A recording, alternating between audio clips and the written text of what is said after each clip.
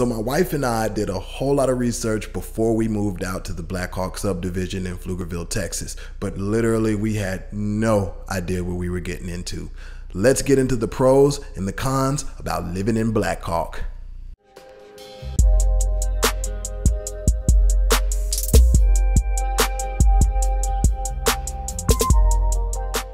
Like I said, my wife and I did a lot of research before we made the decision to one move to Pflugerville, and then two, it was where in Pflugerville. And Blackhawk was actually like the obvious choice for us. Uh, we loved it when we first came into the neighborhood and that kind of takes me to my first pro. Aesthetically it is gorgeous. The homes here are amazing. There's big ones there's small ones medium ones and they got like stone on three sides. It's it's really it's really beautiful. As my mother-in-law would call them they are like really beautiful texas homes. And in the newer parts of the subdivision they're really modern looking.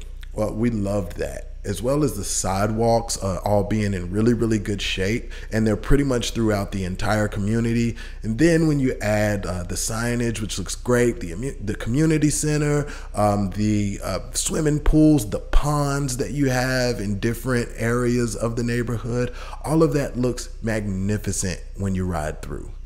This takes me to my con First con is on the outskirts of this neighborhood. It is not aesthetically beautiful, at least to me. So, uh, on the outs the two roads that kind of surround uh, surround the blackhawk community one is Hodde i think that's how you say it and the other one is Rowe those two are like kind of create a 90 degree angle uh, they are my main thoroughfare in and out of the community and I wasn't taking those two roads whenever I was like coming in and out of the community to like check it out. Uh, but those roads lead to and from my house, and they are not great. Uh, super, super bumpy and ugly. And then Hodde gets a little bit windy as you go around. And then on the outside of those, you will see uh, cow pastures and just tons of land. And it like really reminds you that you are not in the city. You moved to the country. And in some respects, that's great.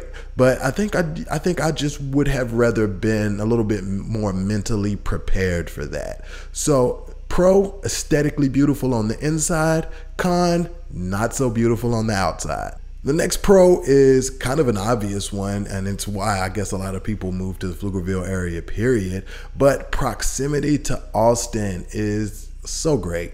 We lived about an hour outside of Austin before in the Killeen area. Shouts out Killeen. And we there wasn't much to do in Killeen, so we would always come and travel to the Austin area in order to have our date nights and stuff. And that was so exhausting because it took an hour. Well, now our date night is 20 minutes away from the house. And you know, that might still be a little far for some people, but for us it's great because we're not like in the hustle and bustle of the city, but we're like a hop, skip, and a jump. We're there. We can do our movie night. We can do our dates. We can have our anniversary celebrations, go to really great restaurants and everything that Austin has to offer, but then come back home in like 15 or 20 minutes and then spend the rest of the night in our cozy house. We absolutely love that. The con is that the subdivision itself, in my opinion, is located on the wrong side of the highway. I just wish that it were on the other side. So to access uh, the major shopping area that is here, uh, Stonehill Plaza, which has movie theater, Target, uh, all the restaurants that you can stand, Home Depot, um, all like the big commercial things are out there it's on the other side of the highway. So, in order to access it, you have to cross the highway, which is a big pain in the butt uh, because there's only a couple ways to do it. And so, the back road that does not put you on the highway, that ends up being like full of cars. The traffic there is not great. And then on the on the other side, if you actually go out like Rowe and get onto the highway, then you have to turn around. And that little loop area, that can actually get super jammed up as well.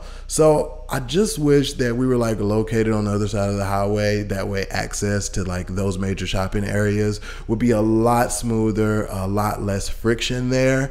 And you know, that's it. We're still in a great location. Uh, like there's a convenience store right at the bottom of the street, and they're actually gonna build another one uh, on the back of us. But I just wish that we were on the other side of the highway. One second, quick heads up. I am a real estate broker, and anybody that's moving to the Blackhawk area, if you need a little bit of help finding a home, I'm offering a 20% commission rebate for anybody that's moving into the area. You can use that to help buy down your interest rate or pay your closing cost or go towards your down payment. Uh, we want to make this an amazing community, and I want to give back to the people who are coming into this community and get to know you guys a little bit better. So there is an instant 20% rebate for anybody moving into the Blackhawk area. Just shoot me an email, mention this video, and I got you. All right, my next pro is one of the big reasons why we moved out here. It is because this is a very family oriented community. We love that. Uh, we came here so that our son could grow up in an area that was like full of other kids that probably like near his age and he could like grow up with friends and have them throughout elementary, middle and high school. Like that's our dream for him. And this actually seems like the perfect place for that. Uh, it seems like a lot of young families come here, especially when they're relocating to the Austin area. Uh, they come here with, with young children children, and it seems like they're they're ready to plant roots and really like form a community vibe man, I love that. My neighbor across the street, they my my son's 13 months old. My neighbor across the street is about to have a baby. Uh, the two neighbors on the back of us just had a joint baby shower for the baby that's due, and one that they just had not too long ago. And yeah, my other neighbor across the street, uh, his little girl is about six months. So uh, it's it's wonderful to like know that my son will be able to go outside and play with other kids and like they can all grow up together and have a ball. And then as you walk or ride through the neighborhood you that's all you see is families walking their kids and or even little kids on their bikes by themselves which i think is fantastic uh, by themselves riding and just having a ball. If there was like one word i could use to describe this community it would be two words. It would be family oriented. So that's just awesome. So if you are a young family or a family period looking for that kind of family community vibe blackhawks got you covered there. That leads me into my next con. The daycares that are like in two to five minute driving range like there's even two daycares right here in the community they don't have high ratings. And my wife and I, we are research people. We're gonna we're gonna research anything before we go and spend our money there. And all the research we did online told us to not attend those daycares or even some of the daycares that are within like 10 minutes proximity.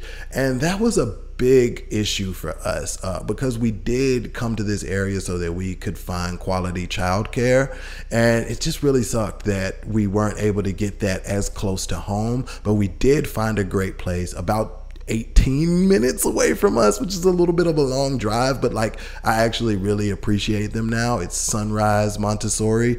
They're amazing. Um, this is not a paid ad. Go and check them out if if you have little kids. Uh, they actually really care for the kids and they're super communicative, which was a huge thing for us that we did not know we needed until we were missing it. So um, yeah, that's one of my cons is the daycares in the area aren't that great. I'm sad to say. But if you've had good experiences with any of them, drop it in the comments so other people can know and so we can know. So if they're just kind of getting a bad rap online, then let us know. I would would love to hear your opinions. All right, let's hop into my next pro, and that is that this community is still growing. And that was another reason why we moved out here. Uh, we wanted to kind of get in early on something that could be great in the long run, and I think that is this area. Uh, so, some of the issues and the headaches that we have now, I don't think we'll have later on uh, down the down the line, five, ten years later, like um, having to even go to Austin. I don't think we'll have to leave in order to have like like great date nights and and quality nightlife. And I think like the roads and all that stuff will get ironed out. And even being on like the wrong side of the highway, there's plans to kind of take this main road Rowe uh, over the highway and give us easier access. And then they're opening up things like around. So they're even building a small commercial plaza right in the back of the neighborhood, which is like literally a five minute walk from my house, which I'm super excited about. So the fact that it's still growing is a pro for me. And it can also be a con because like they're still building houses. So if your car is on the outside of your garage, you're gonna get dust all over that. And I've run over a few nails in my time here as well. So just keep that in mind. But a big pro for me is that it's still growing and like this place has not reached its zenith. And i want to say this uh subdivision's been around since like 1992 so that's that's amazing my next con is one of those things like I don't know if this happens in other communities, and I think it may be because of just like the sheer size of the community, but Amazon always mixes up the packages. Like they will drop my package off down the street, vice versa, and that's not even just Amazon, like DoorDash, same thing. Your neighbors get your DoorDash, your neighbors get your Amazon packages and your mail. And then to kind of touch on the mail thing, there was like a series of mailbox mailbox break-ins where somebody was like popping open all the mailboxes in the cluster and grabbing packages and checks. Uh, that hasn't happened in a while, but what the aftermath of that was was people um, could not access their mailbox, so they had to go to the post office, which is like 20 minutes away from here on the other side of Pflugerville, because we're on the outskirts.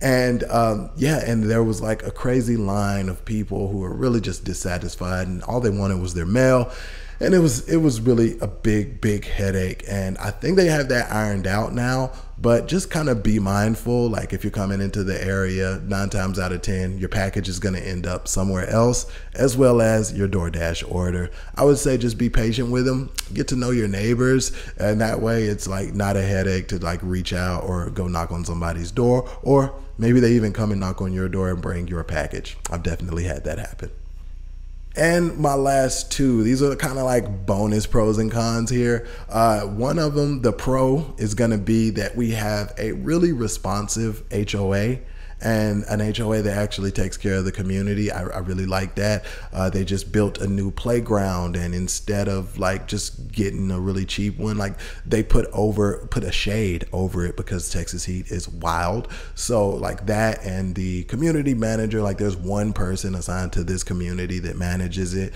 and she's super responsive and kind and communicative. Like all of that really really helps. Uh, I am not a fan of HOAs overall. But if you're gonna have one, I think the one like we have is actually really, really good, even though I'm not a fan of paying that bill.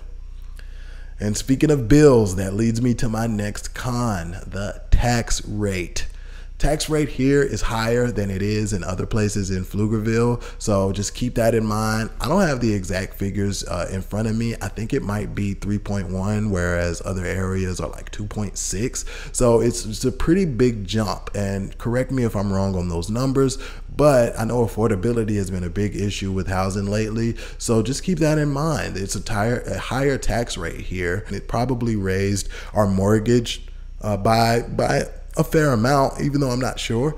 Uh, it probably raised our mortgage by a fair amount, but yeah, that's uh, that's kind of the con about living here, and it sucks even more because those roads are still in disarray. So you're like, man, I pay a lot of taxes. It, you you would think that they would have these roads looking spectacular, and they're not.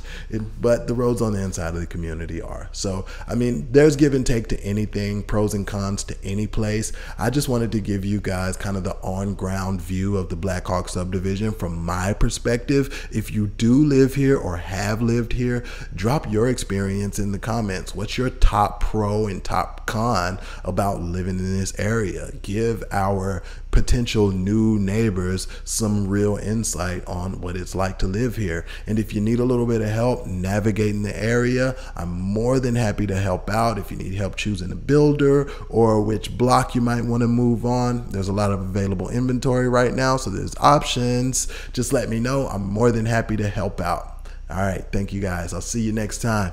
Peace.